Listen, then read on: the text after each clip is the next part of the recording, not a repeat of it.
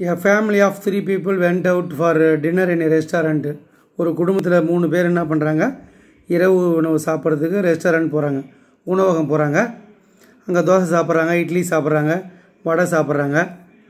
இதெல்லாம் நம்ம வந்து தோசையை வந்து தோசை காஸ்ட்டை வந்து எக்ஸாகவும் இட்லி காஸ்ட்டை வந்து ஒய்யாகவும் வடையினுடைய காஸ்ட்டை வந்து இசட்டாகவும் வச்சு ஈக்குவேஷன் ஃபார்ம் பண்ணி அதுக்கப்புறம் நம்ம எக்ஸ்ஒய்சர் கண்டுபிடிச்சி அதுக்கப்புறம் அவங்க கிட்ட இருக்கிற அமௌண்ட் வந்து த்ரீ ஃபிஃப்டி அந்த த்ரீ ஃபிஃப்டியே போதுமா? அதுக்குள்ளேயே அந்த அமௌண்ட்டை வச்சு அவங்க சாப்பிட்டதுக்கான பில்லை பே பண்ணிட்டாங்களா என்றதை சொல்ல போகிறோம் ஸோ முதல்ல என்ன பண்ண போகிறோம் let X be the cost of one தோசைன்னு எடுத்துக்கிறோம். Y be the cost of one இட்லின்னு எடுத்துக்கிறோம். Z be the cost of one வடைன்னு எடுத்துக்கிறோம். ஒரு தோசையினுடைய விலையை எக்ஸனும் ஒரு இட்லியினுடைய விலையை ஒய்னும் ஒரு வடையினுடைய விலையை இசட்னும் நம்ம எடுத்துக்கிறோம். எண்கன்னு எடுத்துக்கிறோம். அதுக்கப்புறம் கொஷின் நல்லா ரீட் பண்ணி ஈக்குவேஷன் ஃபார்ம் பண்ணுறோம் காஸ்ட் ஆஃப் டூ தோசைனா டூ எக்ஸு தோசைனா எக்ஸ்னு வச்சுக்கிறேன். அப்போ பை கிவன் ஈக்குவேஷன் ஃபார்ம் பண்ணுறோம் டூ எக்ஸு த்ரீ இட்லிஸ்னால் த்ரீ ஒய் எங்கெல்லாம் நீங்கள் வந்து தோசை பார்க்குறீங்களோ அங்கே எக்ஸனும் இட்லினா ஒய்யும் வடைனா இசட்னு போடணும். And two vadas. Two வடைஸ்னா two Z plus two Z is ஈஸ்னா equal to equal to one fifty போடணும். அதே மாதிரி ஃபஸ்ட் ஈக்குவேஷன் ஃபார்ம் பண்ணிட்டோம். Cost of two idlis two dosa two தோசைனா two x plus two இட்லிஸ்னால் நம்மளுக்கு என்ன பண்ணணும்? டூ ஒய்யு ப்ளஸ்ஸு அதுக்கப்புறம் four vadas. Four Z equal to ஈஸ்னால் two equal to two hundred அப்போ ஃபோர் இசட் ஈக்குவல் டு நம்மளுக்கு என்ன கிடைக்கும்? டூ ஹண்ட்ரடு அதே போல் the cost of five dosa five five X plus four idlis four Y plus and நான் plus போட்டுக்க வேண்டியது தான் two vadas two Z equal to ஈஸ்னா equal to two Z equal to two fifty two Z equal to two fifty two fifty போட்டுறேன். இதில் solve பண்ணணும் grammar உள்ள apply பண்ணி solve பண்ணி எக்ஸ் ஒய் செட்டை கண்டுபிடிச்சிடணும். எக்ஸ் கண்டுபிடிச்சிட்டு அதில் தோசைனுடைய காஸ்ட்டும் ஒய் கண்டுபிடிச்சிட்டு இட்லியுடைய காஸ்ட்டும் இசட் கண்டுபிடிச்சிட்டு வடையினுடைய காஸ்ட்டும் சொல்லணும். லாஸ்ட்டில் என்ன பண்ண போகிறோன்றதையும் இங்கே நம்ம குறிப்பு எடுத்துக்கிறோம். ரெஃப் ஒர்க்காக எடுத்துக்கிறோம். ஃபைன் அந்த family case three fifty in hand family கையில் முந்நூற்றி ஐம்பது ரூபா தான் இருக்குது அவங்க என்ன சாப்பிட்றாங்க? தே ஏட் த்ரீ தோசை அப்போ three X and plus six idlis six இட்லிஸ்னால் six Y plus and six vadas six வடைஸ்னா Z அவங்க வச்சுக்கிற அமௌண்ட் வந்து த்ரீ ஃபிஃப்டி அப்போ த்ரீ ஃபிஃப்டின்னு இங்கே வச்சுக்கும் ஈக்குவல்ட்டுன்னு வச்சுக்கும் இப்போ த்ரீ ஃபிஃப்டி அதிகமாக இருக்கா? இல்லை குறவாக சாப்பிட்றாங்களா? அதிகமாக சாப்பிட்றாங்கன்றதா நம்ம கண்டுபிடிச்சா தான் தெரியும். எக்ஸ் வேலையை கண்டுபிடிச்சிட்டு ஒய் வேலையை கண்டுபிடிச்சிட்டு இசல் வேலையை கண்டுபிடிச்சிட்டு இல்லை சப்ஸ்டியூட் பண்ணி இது த்ரீ ஃபிஃப்டியோட கம்மியாக இருந்ததுன்னா லெஸ்ஸாக இருந்ததுன்னா ஓகே நம்ம வச்சுக்கிற பணத்தை வச்சு த்ரீ ஃபிஃப்டி வச்சே கொடுத்துடலாம். த்ரீ ஃபிஃப்டியை விட அதிகமாக போச்சுன்னா நம்ம வந்து வச்சுக்கிற படத்தை வச்சு மேனேஜ் பண்ண முடியாதுன்னு நம்ம சொல்ல போகிறோம் ஸோ முதல்ல டெல்டா கண்டுபிடிக்கணும். ரொம்ப ரொம்ப ஈஸி அந்த coefficient of X Y மட்டும் எடுத்துக்க போகிறோம் two three two two two four five four two இது எக்ஸ்பாம் பண்ணியாதுன்னா டெல்டா வேல்யூ கிடச்சிக்கும் கிடச்சிடும் இருந்தாலும் டூ ஃபோர் டூவில் டூவை காமனாக எடுக்கலாம். டூவை காமனாக எடுத்துடுறேன். இது எப்படியே எக்ஸ்பாம் பண்ணியே போடலாம். இருந்தாலும் டூ ஃபோர் டூவில் டூ காமனாக எடுத்துகிட்டு அப்புறம் போட போகிறேன் டூ டூ ஃபைவ் இப்படி அப்படியே எழுதிக்கிறேன். த்ரீ டூ ஃபோர் அப்படியே எழுதிக்கிறேன். இதில் டூவை காமனாக எடுத்துகிட்டோம் இது ஒன்று டூ ஒன்று இருக்கும். இதை மட்டும் இப்போ எக்ஸ்பாம் பண்ணி எழுத போகிறேன் இப்போ டூ அங்கே காமனாக வச்சுட்டு அதுக்கப்புறம் எக்ஸ்பாண்டிங் எல்லாம் ஆர் ஒன் இப்போ டூ இங்கே போட்டுக்கணும். அப்போ two into one two minus four into two eight plus three இருக்குது மைனஸ் த்ரீ போடணும். Two into one two minus five into two ten plus ஒன்று டூ இன்ட்டு ஃபோர் இல்லை four into two eight minus five into two ten இதெல்லாம் நீங்கள் வேகமாக நீங்களே செய்யலாம். இருந்தாலும் நான் உங்களுக்கு சொல்லி கொடுத்துட்றேன் பாருங்கள் டூ இங்கே பாருங்களேன். டூ மைனஸ் எயிட் என்ன வரும்? மைனஸ் சிக்ஸ் வரும். டூ மைனஸ் டென் என்ன வரும்? Minus eight eight minus ten என்ன வரும்? மைனஸ் டூ வரும். அப்போ two into minus six minus twelve கிடைக்கும். Minus three into minus eight plus twenty four கிடைக்கும். One into minus two minus two கிடைக்கும். இப்போ நம்ம என்ன பண்ண போகிறோம் மைனஸ் டுவெல்லையும் டூ ஆட் பண்ணால் மைனஸ் ஃபோர்டீன் கிடைக்கும். Minus fourteen plus twenty four அப்போ நம்மளுக்கு என்ன கிடைக்கும்? மைனஸ் ஃபோர்டீன் ப்ளஸ் டுவெண்ட்டி ஃபோர்னால் ப்ளஸ் டென் கிடைக்கும். Two into two into ten twenty கிடைக்கும். அப்போ டெல்டா ஈக்குவல் டு டுவெண்ட்டி கிடச்சிருது. நாட் ஈக்குவல் டு ஜீரோன்றதை நம்ம சொல்லணும் எப்பயுமே. சொல்லாட்டாலும் பரவாயில்ல. ஏன்னா அப்போ தான் not equal zero delta value not equal zero வந்தால் தான் நம்ம வந்து வி கேன் அப்ளை கிராமர் ரூல்ன்றதை எப்பயுமே நம்ம மனசுக்குள்ளே சொல்லிக்கினே இருக்கணும். இங்கே ஜீரோ வந்துச்சுன்னா நம்ம கிராமர் ரூலை அப்ளை பண்ண முடியாதுன்றதுக்காக அப்படி சொல்கிறோம் சரி டெல்டா கண்டுபிடிச்சி அடித்தோம் டெல்டா எக்ஸ் கண்டுபிடிக்கணும். இனிமேல் எல்லோரும் உங்களுக்கு புரியும் ஈஸியாக டெல்டாவில் போயிட்டு ஃபஸ்ட்டு காலமில் இருக்கிற நம்பரை அப்படியே எடுத்துகிட்டு நீக்கிட்டு இங்கே இருக்கிறாங்க பாரு கொடுத்துருக்காங்க பாரு ஈக்குவேஷனில் ஈக்குவல்ட்டுக்கு அப்புறம். அந்த நம்பரை மட்டும் எடுத்து வேணும் அப்போ ஒன் ஃபிஃப்டி இங்கே எழுதணும் டூ ஹண்ட்ரடு டூ ஃபிஃப்டி எழுதிட்டு இந்த காலம் டூவில் இருக்கிற நம்பரை அப்படியே எழுதிக்கணும். த்ரீ டூ ஃபோர் காலம் த்ரீயில் இருக்கிற நம்பரையும் அப்படியே எழுதிக்கணும். டூ ஃபோர் டூ இதை அப்படியே எக்ஸ்பாம் பண்ணி எழுதுனா என்ன வேல்யூ கிடைக்குதோ எக்ஸ்பாம் பண்ணி வேல்யூ கண்டுபிடிக்கணும். அதுக்கு முன்னாடி ஏற்கனவே சொன்ன ஐடியா தான். இந்த one fifty two hundred two ஃபிஃப்டியில் காமனாக ஃபிஃப்டி எடுக்கலாம். ஃபிஃப்டி காமனாக எடுத்துகிட்டு எழுத போகிறேன் அப்போ ஒன் ஃபிஃப்டியில் எத்தனி ஃபிஃப்டி இருக்குன்னா த்ரீ ஃபிஃப்டி இருக்குது டூ ஹண்ட்ரடில் எத்தனை ஃபிஃப்டி இருக்குன்னா four times of fifty two hundred two ஃபிஃப்டியில் எத்தனை ஃபிஃப்டி இருக்குன்னா ஃபைவ் ஃபிஃப்டி அப்போ இதை காமனாக one fifty two hundred two ஃபிஃப்டியில் ஃபிஃப்டி காமனாக எடுத்துனா த்ரீ ஃபோர் ஃபைவ் வரும். அதுக்கப்புறம் த்ரீ டூ ஃபோரு இது காலம் த்ரீலேருந்து டூவை காமனாக எடுக்கலாம். ஸோ அப்போ ஒன் கிடைக்கும் இங்கே டூ கிடைக்கும் இங்கே ஒன் கிடைக்கும். இதுக்கு அடுத்த ஸ்டெப்பில் ஃபிஃப்டி இன்ட்டு டூ வந்து ஃபிஃப்டி இன்ட்டு டூ வந்து உங்களுக்கு தெரியும்னா அது ஹண்ட்ரடா ஹண்ட்ரட் போட்டுக்கணும். ஹண்ட்ரடு இந்த த்ரீ பை த்ரீ டிடர்மெண்ட்டை நம்ம வந்து என்ன பண்ணணும்? எக்ஸ்பாண்ட் பண்ணணும். அங்கே ஆர் ஒன் அப்போ எக்ஸ்பாண்ட் பண்ணோம்னா நம்ம த்ரீ கிடைக்கும். அப்போ two minus eight minus three four minus ten plus ஒன்று சிக்ஸ்டீனு மைனஸ் டென்னு அதுக்கப்புறம் எப்பயும் போல் நம்ம two minus eight minus six கிடைக்கும். ஒரு ஸ்டெப்பு செய்யலாம். டைம் வேஸ்ட் ஆகுதுன்னு சொல்லிட்டு சீக்கிரமாக முடிக்கிறேன். Four minus four minus ten minus six sixteen minus ten six அப்படியே மல்பை பண்ணணும். இது எப்படி மல்பை பண்ணது அப்படின்னு பார்த்தீங்கன்னா three into minus six minus eighteen minus three into minus six plus eighteen one into six அப்போ சிக்ஸ் கிடைக்கும்.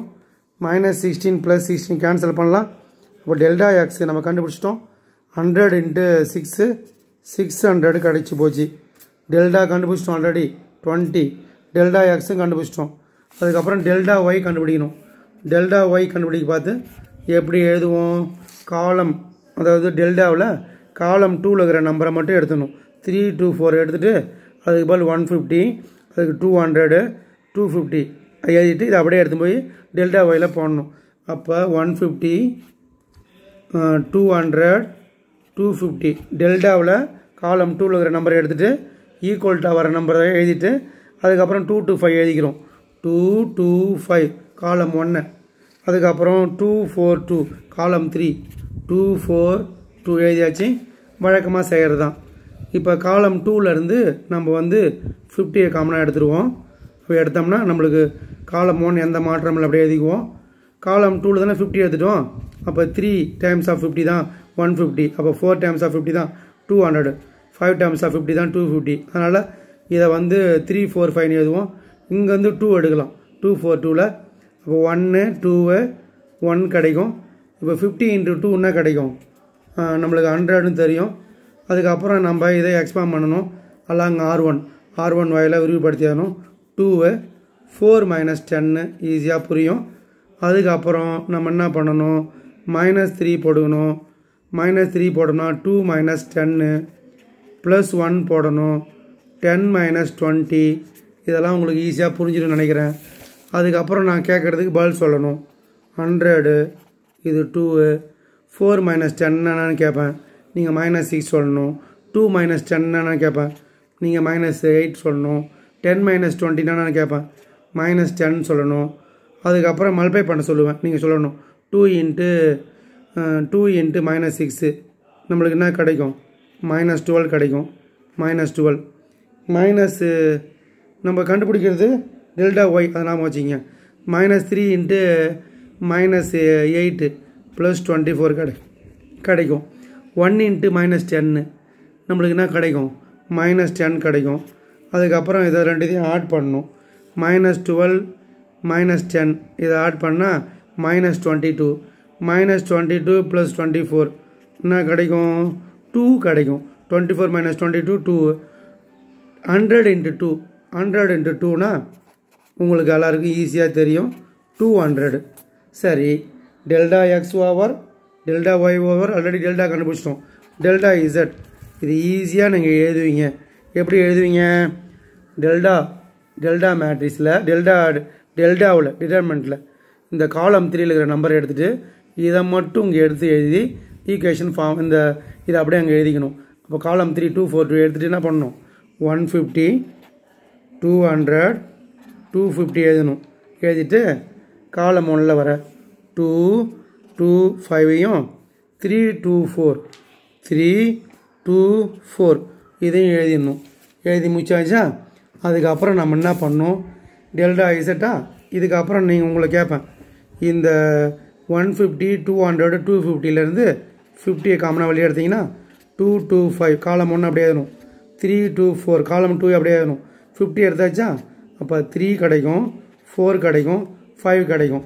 இதை அப்படியே எக்ஸ்பாண்ட் பண்ண வேண்டி வேண்டியதான் அப்போ ஃபிஃப்டி இங்கே வச்சிங்கன்னா அதுக்கப்புறம் நான் என்ன பண்ண பண்ணணும் எக்ஸ்பாண்ட் பண்ணணும். இங்கே டூ இருக்கா? டூ போட்டுக்கினேன் டூ இன்ட்டு ஃபைவ் டென்னா ஃபோர் இன்ட்டு ஃபோர் சிக்ஸ்டினா அதே மாதிரி மைனஸ் த்ரீ போடணும். Ten twenty. அதே போல் ப்ளஸ் த்ரீ அப்போ எயிட்டு மைனஸ் டென் இதெல்லாம் ஈஸி தான். எக்ஸ்பாண்ட் பண்ணி தெரிஞ்சு வச்சிங்கன்னா எக்ஸ்பாண்ட் பண்ணது எப்படின்னு தெரிஞ்சு வச்சுக்கணும். ஸோ அப்போ ten minus sixteen minus six ten minus twenty minus ten eight minus four eight minus ten minus two அப்படியே மல்டிப்ளை பண்ணுங்கள் பார்ப்போம். Two into minus six minus twelve minus three into minus ten plus thirty three into minus two minus six இப்போ minus டுவெல்லையும் minus சிக்ஸையும் add பண்ணால் minus எயிட்டின்னு கிடைக்கும். இங்கே பாருங்கள் தேர்ட்டி இருக்குது தேர்ட்டி மைனஸு எயிட்டின்னா டுவெல் கிடைக்கும். அப்போ ஃபிஃப்டி இன்ட்டு டுவெல் இதெல்லாம் இது வந்து என்ன value twelve fifty into twelve என்ன கிடைக்கும்? எழுதிக்கிங்க உங்களுக்கு புரியலன்னா? Fifty into twelve fifty into twelve நம்மளுக்கு என்ன கிடைக்குது? சிக்ஸ் ஹண்ட்ரட் அப்போ டெல்டா இசனும் கண்டுபிடிச்சிட்டேன். By Cramer's rule x is equal to delta x by delta y equal to delta y by delta z equal to delta z by delta இது எழுதிக்கணும். இதுக்கப்புறம் delta value நம்ம கண்டுபிடிச்சி வச்சுக்கிறோம் இல்லைங்களா? போய் கூட பார்த்துக்குங்க.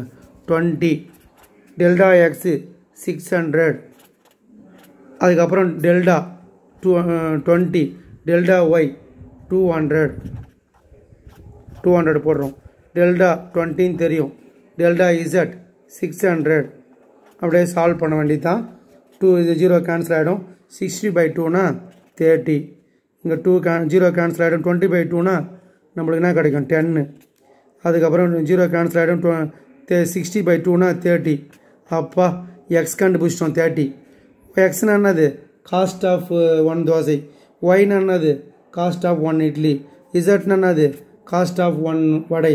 அதாவது எக்ஸ் என்பது ஒரு தோசையினுடைய விலை ஒய் என்பது ஒரு இட்லியினுடைய விலை இசட் என்பது ஒரு வடையினுடைய விலை. இதை மூணு கண்டுபிடிச்சிட்டேன். ஆனால் நம்ம ஏற்கனவே சொல்லிட்டேன். அவங்க த்ரீ எக்ஸு மூணு இட்லி சாப்பிட்ருக்காங்க அதுக்கப்புறம் மூணு மூணு தோசை சாப்பிட்ருக்காங்க ஆறு இட்லி சாப்பிட்ருக்காங்க மூணு தோசை ஆறு இட்லி ஆறு வடை சாப்பிட்ருக்காங்க இப்போ இந்த எக்ஸ் ஒய் செட் வேல்யூவில் சப்ஸ்டியூட் பண்ணி பார்க்கணும். அவங்க நம்ம ஏற்கனவே கொஷின்லேருந்து ஈக்குவேஷன் எழுதி வச்சுருக்கேன் செக் பண்ணதுக்காக. அப்போ நம்ம அந்த ஈக்குவேஷன் திரும்பி எழுதிக்கிறேன் three x plus six y plus six z equal to இதில் சப்ஷீட் பண்ண போகிறேன் த்ரீ இன்ட்டு எக்ஸ்னா பாருங்கள் கண்டுபிடிச்சி வச்சுருக்கோம். தேர்ட்டி அப்போ சிக்ஸு ஒய் கண்டுபிடிச்சி வச்சுருக்கிறோம். டென்னு இது கன்ஃபியூஷனே கிடையாது. எக்ஸ்னால் அவங்க சாப்பிட்டது என்னன்னு கேட்டிங்கன்னா தோசை. ஒய்னா இட்லி. இசட்னா வடை. ஆறு வடை ஆறு இட்லி மூணு தோசை சாப்பிட்ருக்காங்க அதான். சிக்ஸு இசட்னா பாருங்கள் தேர்ட்டி இதை அப்படியே மல்டிப்ளை பண்ணுங்கள் three into thirty ninety sixty into ten sixty six into one thirty one eighty இதை அப்படியே ஆட் பண்ணுங்கள் த்ரீ தேர்ட்டி கிடைக்குது. ருபீஸ் த்ரீ தேர்ட்டி ஆனால் அவங்க எவ்வளோ வச்சுக்கிறாங்க? ருபீஸ் த்ரீ ஃபிஃப்டி வச்சுக்கிறாங்க. அவங்க த்ரீ ஃபிஃப்டி வச்சுக்கிறாங்கன்னா இருபது ரூபா அவங்களுக்கு மீறும். அதனால் நம்ம அவங்க கொஷின் எப்படி கேட்பாங்க?